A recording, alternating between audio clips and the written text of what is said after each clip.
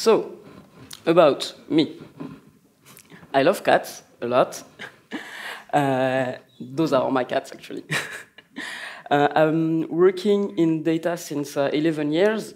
Uh, I started uh, in uh, consulting like a lot of software engineers, and then I joined Le Bon Coin. We'll have a talk about them later in the day. and that's where I started to work with, job, with, with PostgreSQL. Never stopped since. I might have been choosing my jobs depending of PostgreSQL or not. so, uh, and yes, I tweet a lot about Postgres and uh, Steph Baltus, and I blog with a lot of friends, uh, software engineer too, at uh, Honest uh, Engineering. So about Algolia, uh, if you don't know about us, we're a SaaS company providing um, search as you type experience via an API. So it's pretty fast.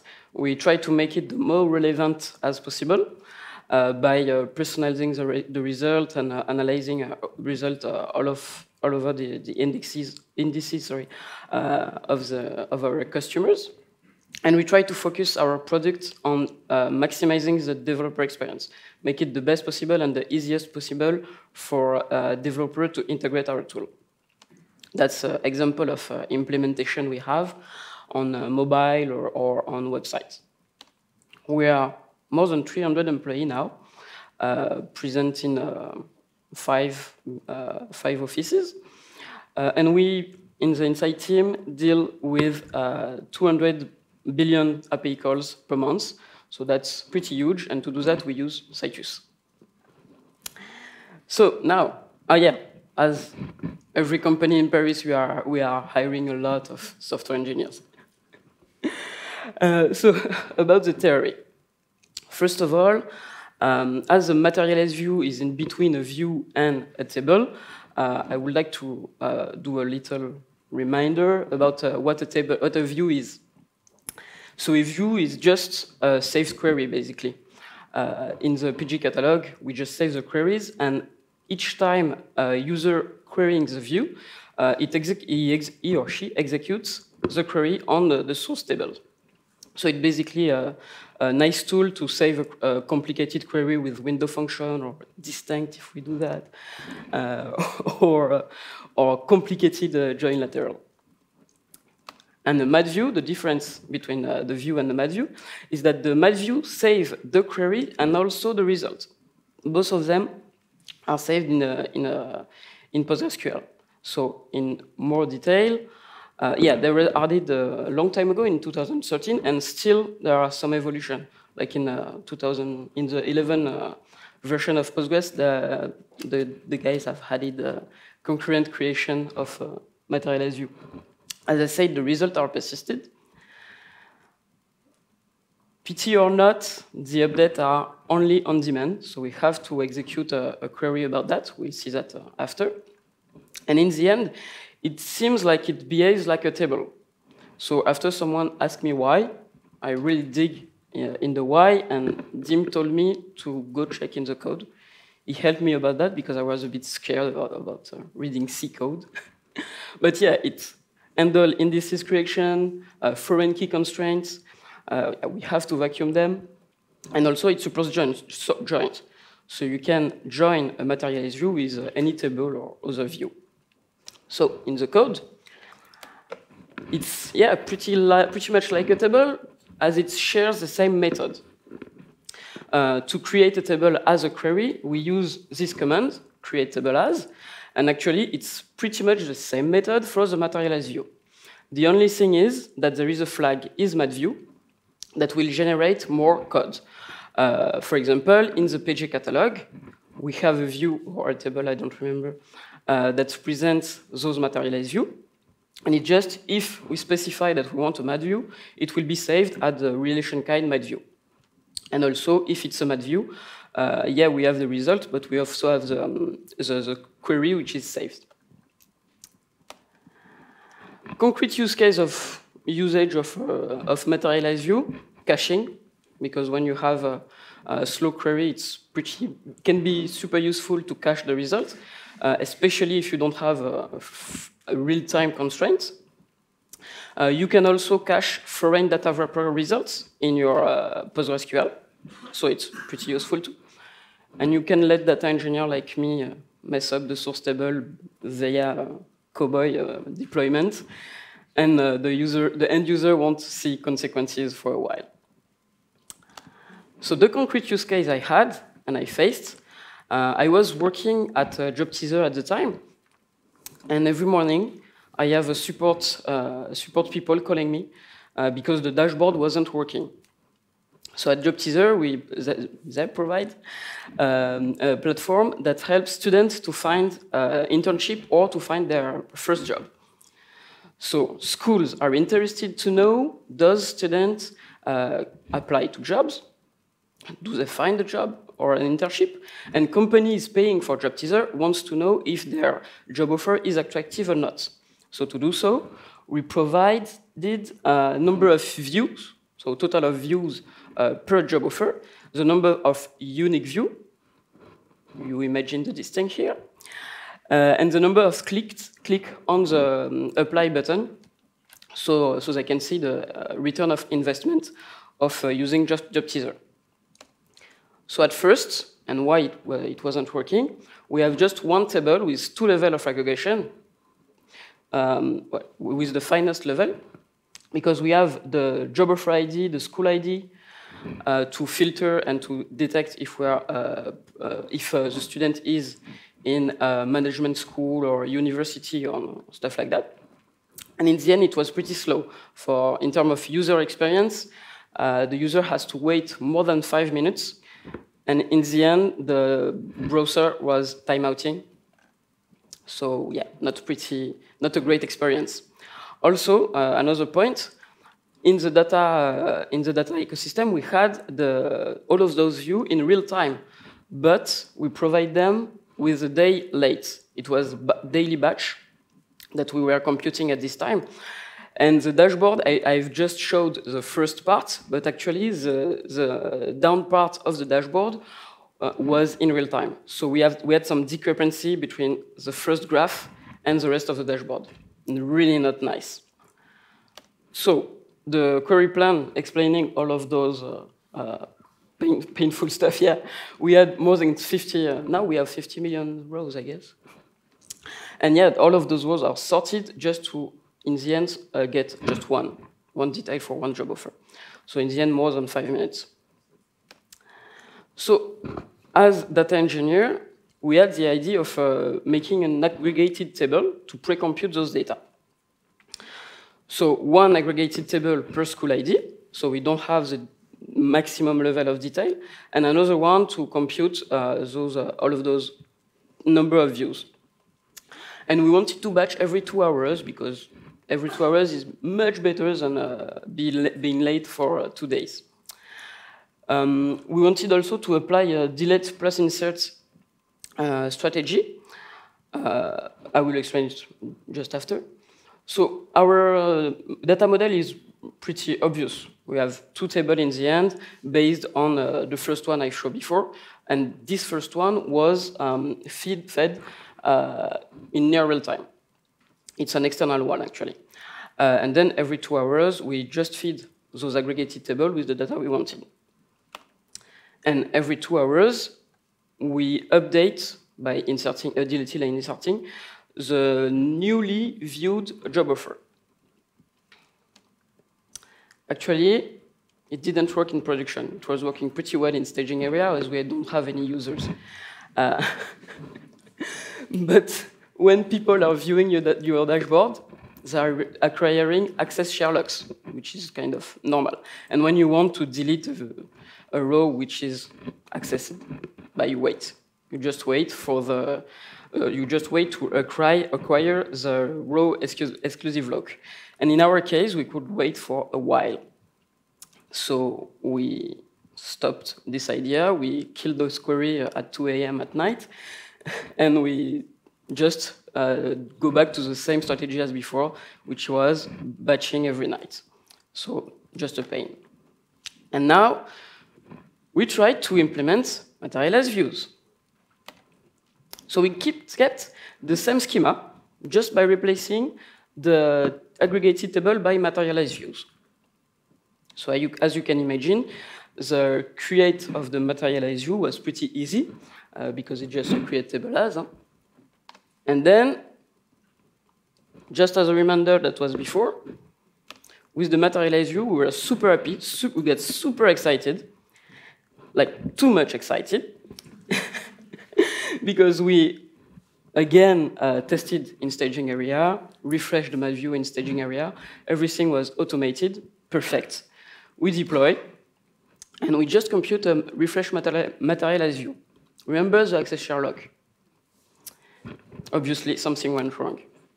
And it's all in the doc. Actually, we should have read the doc carefully, that's it.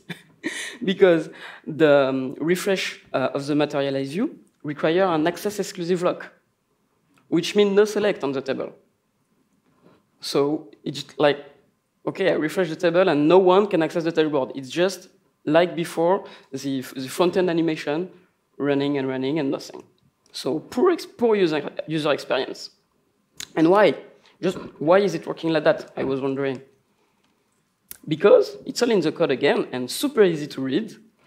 Um, PostgreSQL, in, when refreshing a materialize view, without the concurrent mode, I don't know if you see, if all of you are seeing that, but without uh, using the concurrent mode, uh, PostgreSQL wanted, wants an access exclusive lock. It's written. And also, to do that, uh, the engine is creating a new table and swapping the relfilenodes of the old table to point to the new one. Also, as it's a new file, uh, uh, the engine has to reindex, and reindex, uh, requires also an access exclusive lock. Just as an illustration, uh, so as, as, in the code, uh, the engine build a new materialize view actually, and uh, re-execute the saved queries, query, uh, and in the end, just point on the older, on the, the previous one. So the access share lock is blocking this new pointing on the on the new file and also the reindex. As uh, I mentioned, PostgreSQL get us covered about that. We have the refresh concurrently. Magic. um, so PostgreSQL um, allows to, uh, the concurrently um, option allows to have concurrent select, which is great. Uh, the user can still continue to query the dashboard. Um, we just have a little constraint, which is to add um, a unique index on the materialize view. That's okay. We have the data model that allows us to, to do so. And as an indices of uh, as an index of how it works, it can be either slower or faster than the refresh. Uh, so let's dig into how it works. So we can see in the code, uh, we have two strategies of refreshing. And if concurrent, we do the refresh, refresh by match merge, which work by, well, by doing a full outer join against an old version of the, of the data, producing a diff, a diff result. Let me just illustrate that. Uh, actually, so as before, the refresh concurrently execute the same query on a, uh, another table. The engine uh, does a full outer join between the, this new table and the, the, old one, and checking which one are have changes.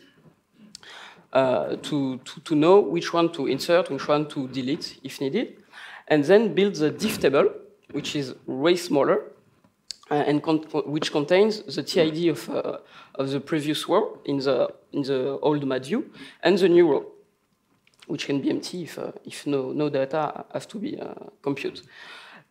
And after, after doing this diff, uh, PostgreSQL just insert, delete, and insert in the, new, in the, in the old MAT view. So this just require an exclusive lock like we had before uh, with the aggregated table. So the user can still uh, access, access the table, uh, and we wait row per row to insert uh, the new data. And that's it, actually. So we wouldn't have broke our production if we just have read the documentation properly. Uh, and in doubt of something, just go check the code. It's super easy to read the code uh, of PostgreSQL. Thank you, Dimitri. uh, but yeah, now I will do that. so to wrap up uh, about all, uh, all, of that, MatView can replace stable if you don't have a um, real-time uh, real-time uh, constraint. Um, other RDBMS does it automatically. PostgreSQL don't, but at least we can do some bad stuff. and you get to choose between two strategies of uh, refreshing. Something we didn't check at this time, and which was existing, actu existing actually, it's pg_cron to refresh the MatView. It's super easy to set up. It's just an extension that you install as an extension. And then you use the cron, uh, cron syntax uh, and uh, choose the, the, the query to execute. So to set, it's super easy. To unset is as easy. You just unschedule the task ID, and that's it. And I guess that's it for me. Thank you.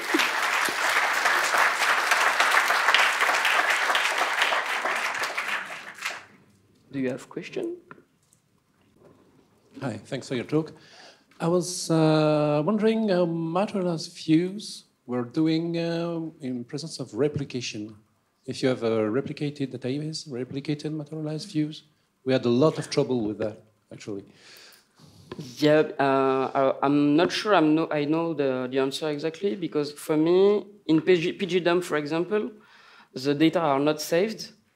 It's just the query which is saved. So maybe in terms of re replication, the query uh, is executed. It was more problem with locking, and uh, you have the replicate that was locked during a vacuum or things like that. You don't have any elements about it, no? I didn't have this uh, this issue.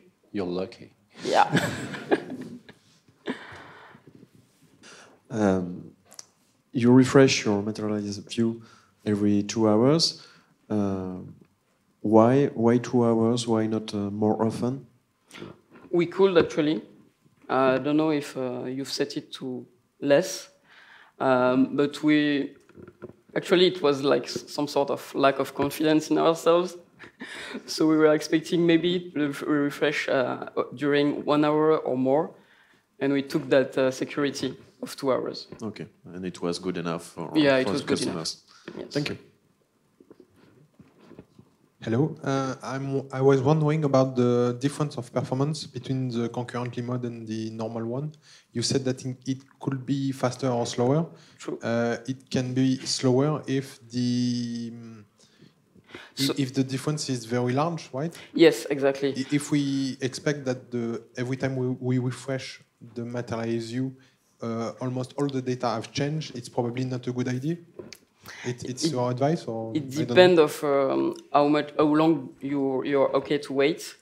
But yes, if the diff is large, uh, it's uh, the time of uh, deleting and inserting data.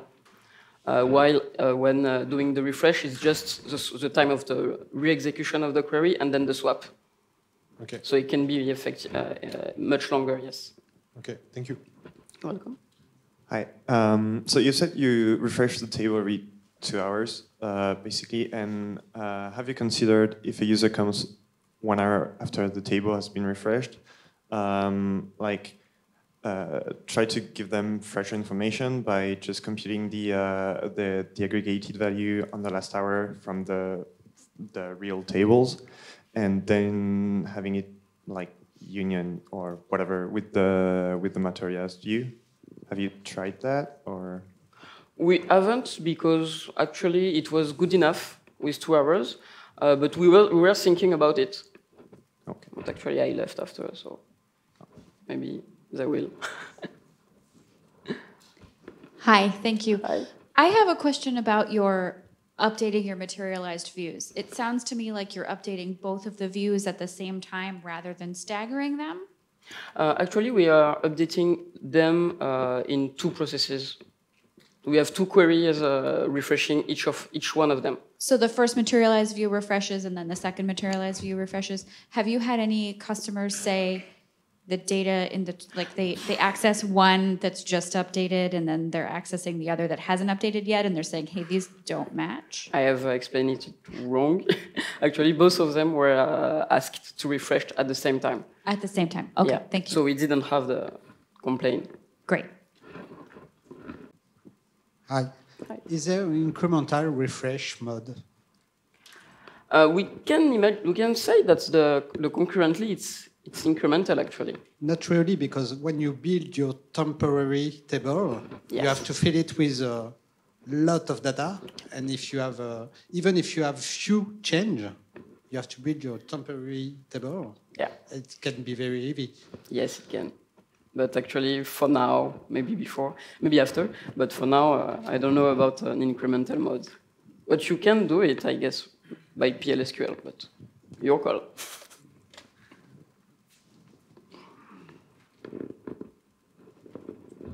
Anyone else?